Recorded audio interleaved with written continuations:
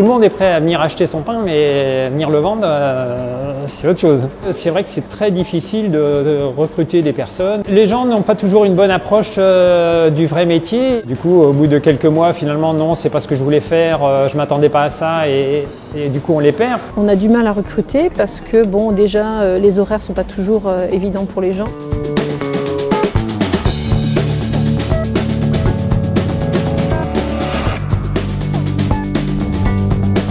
On a travaillé avec euh, les boulangers et les charcutiers, hein, élus de paix, entre autres pour bien clarifier leurs demandes en termes de besoins en compétences. Cette euh, POEC est soutenue bien sûr par la Directe. C'est la preuve que nos métiers sont porteurs d'emploi sur le territoire.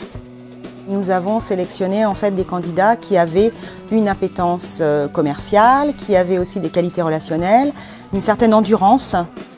H3O a construit une formation courte et efficace qui répond aux besoins des employeurs et à l'employabilité des demandeurs d'emploi. Des immersions en entreprise sont réalisées par les stagiaires en amont de la formation. Par ailleurs, euh, des visites terrain chez des professionnels, par exemple chez des charcutiers, des boulangers, voire même sur des marchés, sont réalisées durant la formation.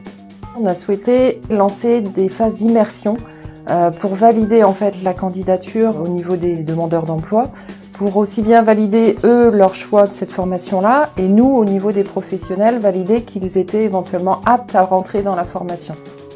J'ai été sollicité donc par la Fédération des boulangers du département pour mettre en place et trouver euh, une formation possible et leur expliquer le vrai métier de la vente dans le petit commerce. C'est important que les entreprises puissent exprimer leurs besoins pour pouvoir avoir des gens formés à leur métier.